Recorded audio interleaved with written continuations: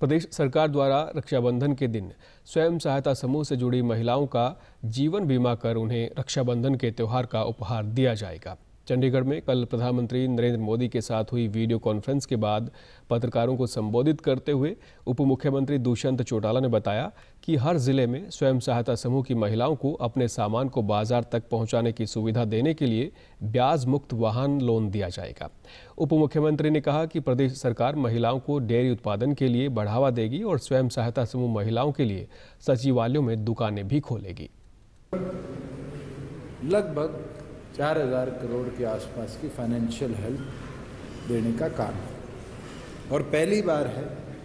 कि women self help groups को market तक अपना सामान ले जाने,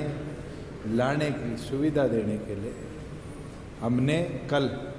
प्रत्येक डिस्ट्रिक्ट के अंदर loan free vehicle purchase self help group को परमिट करी है, जो कि अपनी प्रोडक्ट को मार्केट में लाने, ले जाने में उनके काम आएगा। सेल्फ हेल्प ग्रुप की औरतों के लिए भी हम जल्द डिस्ट्रिक्ट लेवल जो हमारे सेक्रेटरीट है, उसके ऊपर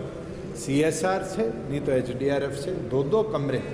और उसके साथ एक इन नारी समूहों के लिए कॉन्फ्रेंस रूम बनाकर ऐसी व्यवस्था बनाएँगे कि इनकी प्रोडक्ट सेंट्रलाइज सेलिंग भी शुरू हो जाए प्लस